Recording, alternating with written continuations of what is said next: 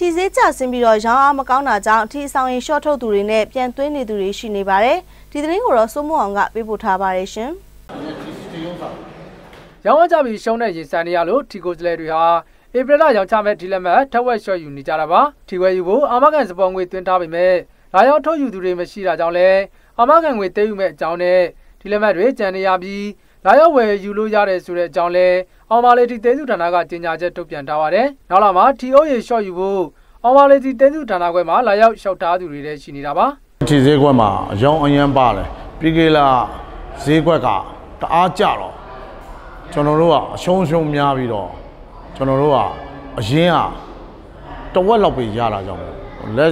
လက်ရှိအလုပ်လုပ်နေတဲ့အရင်တင်းကိုထီကိုထုတ်ယူနိုင်တဲ့စွမ်းအားတဝက်လောက်ပဲထုတ်ယူနိုင်လို့ရုံးမှာရရှိတဲ့ ထီထုတ်ခွင့်ကိုတဝက်ရှော့ချဖို့ဆောက်လော်တင်ဖို့လာခြင်းဖြစ်ပါတယ်ပြီးခဲ့တဲ့လကကြက်တောင်တန်းထီလက်မဲ့တဲ့ဆောင်ကိုကြက်လေးရအတိကြာဆင်ခဲ့ပါတယ်ပထမချင်းကြက်တောင်တန်းတီရောင်းချတဲ့အခါဒီကိုလေတွေအရင်ထက်ဝက်လောက်ရှုံးတဲ့ရင်ဆိုင်နေရတယ်လို့ဆိုပါတယ်အခုလအတွက်ရောင်းချတဲ့ထီလက်မဲ့တွေရောင်းဝမကောင်းတာကြောင့်အောင်ပါလေးတီတင်းစုဌာနကိုပြန်လဲအနက်ရတာတွေရှိတယ်လို့သူကဆိုပါတယ်တထောင်တန်က300နဲ့900တန်800ပါအိုး800ရတယ် ပြန်အပ်ထားပါမထုတ်နိုင်တဲ့အတွက်ရှုံးရှုံးတဲ့အတွက်ကျွန်တော်မထုတ်နိုင်တဲ့မတိုက်နိုင်တဲ့ပြန်အပ်ထားအောင်လို့တော့ကြီးထိုးတယ်ဆိုတော့တော်တော်များများကျွန်တော်လေ့လာတယ်တော့တော့ကြီးထိုးတဲ့လူတွေဟာအခြေခံလူတန်းစားနဲ့လူတက်တန်းစားများများတော်တော်ထိုးကြထီရောင်းအကြဆင်းတဲ့အတွက်ကျွန်တော်ထင်တာယူထားတာပါလူချင်းကန်လူတန်းစားတွေတိတ်မထိုးနိုင်တဲ့အတွက်ထီရောင်းရလဲနဲ့ကြာဆင်းသွားတယ်လို့ထင်တယ်ထီကုန်းတွေရှိတဲ့ရန်ကုန်မြို့ဗဘဲတန်းမြို့နယ်28လမ်းမှာ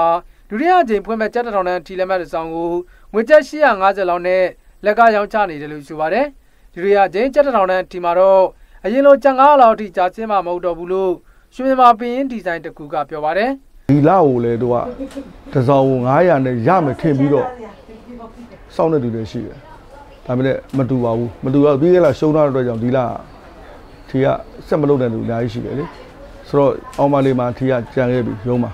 မထုတ်ပဲစုမလုပ်နိုင်တော့လို့ပြန်အပ်တဲ့လူတွေရှိတယ်ရှိတဲ့ခါကျတော့သူကထိုးတဲ့လူတွေကတစောင်900ရမှထိုးမယ်လို့မျှော်မယ်ဆိုရင်မဖြစ်နိုင်တော့ဘူးဖြစ်နိုင်ဆိုတော့ကုန်တွေကလည်းအဲ့ပစ္စည်းကို900နဲ့ရောင်းဖို့တော့မထုတ်ဘူးပြီးရလား900နဲ့ရောင်းတယ်ဆိုတော့ကိုယ့်လက်ထဲမှာထုတ်ပြီးသားပစ္စည်းဖြစ်နေတဲ့အတွက်ကြောင့်